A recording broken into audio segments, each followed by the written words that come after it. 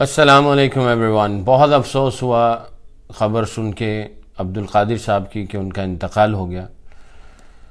ہم جب چھوٹے تھے تو انہی کی باتیں سن سن کے کرکٹ کھیلنے کا شوق پیدا ہوا۔ جب کانوں میں یہ آواز جاتی تھی کہ پاکستان کے پاس ایک ایسا بولر ہے جو جادوگر ہے اور ایسا جادو کرتا ہے کہ بیٹسمینوں کو جکڑ لیتا ہے، ان کے اوپر اس کے اثرات ہو جاتے ہیں۔ ان کے ہاتھ پاؤں بندھ جاتے ہیں، ان کا بس نہیں چلتا۔ اور ایسی جادوگری کرتا ہے کہ بیٹسمین اس کو سمجھ نہیں آتی اور وہ آرام سے بیٹسمین کو ٹریپ کر لیتا ہے، آؤٹ کر دیتا ہے۔ بہت بڑا نام تھا۔ اب اس دنیا میں نہیں ہے۔ ان کی یادیں ہمیشہ ہمارے ساتھ رہیں گی۔ ہمارے دلوں میں سمائے رہیں گے ان کی محبت۔ میرے گھر کے بالکل قریب رہتے تھے۔ میں قلعہ گجر سنگھ سے تعلق رکھتا ہوں اور وہ دھرم پورہ وہاں پہ رہتے تھے، وہاں پہ کھیلتے تھے۔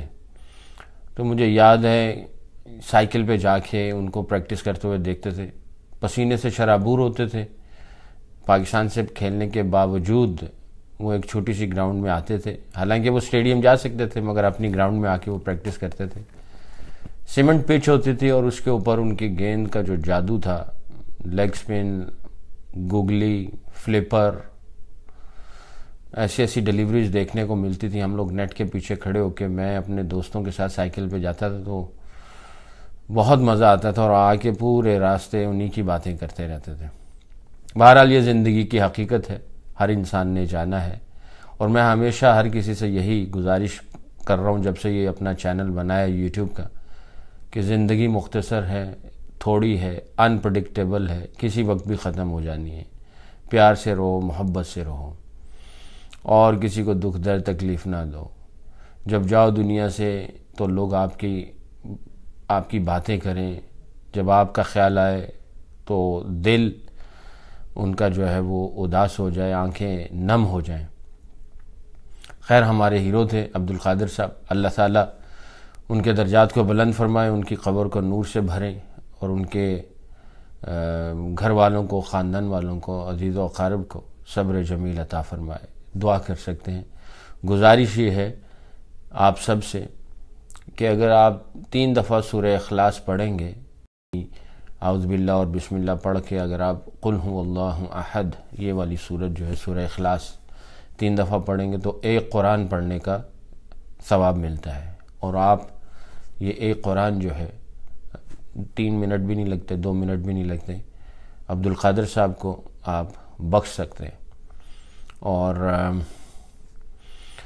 بہرحال اب وہ ہمارے ساتھ نہیں ہیں۔ یہ زندگی کا یہی حقیقت ہے۔ اب کچھ کہا نہیں جا سکتا۔ اللہ تعالیٰ ان کے درجات کو بلند فرمائے۔ اللہ حافظ۔ السلام علیکم ورحمۃ اللہ۔ سکلین مشتاق ہائٹس جدید طرز زندگی اور فیملی کی ضروریات کے این مطابق ہے۔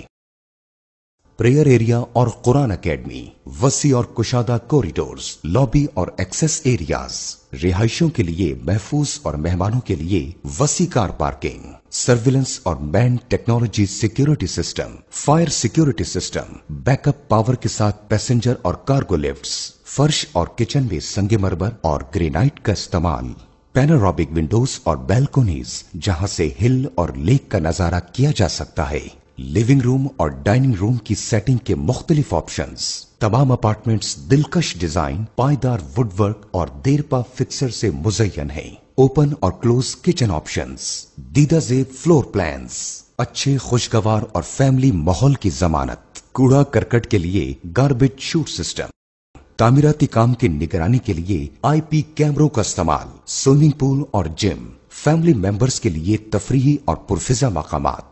ہم بہترین سے کم کی ضمانت نہیں دیتے۔ اسی لیے ہم انڈسٹری کے بہترین کانٹریکٹرز آرکیٹیکٹس اور پروجیکٹ مینیجر سے کام کروا رہے ہیں تاکہ تمام رہائشیوں کی حفاظت اور سہولت کو یقینی بنایا جائے۔ اسی طرح سکلین مشتاق ہائٹس میں انتہائی اعلیٰ درجے، پائیدار اور قابل اعتماد کمپنیز کا میٹیریل استعمال کیا جا رہا ہے۔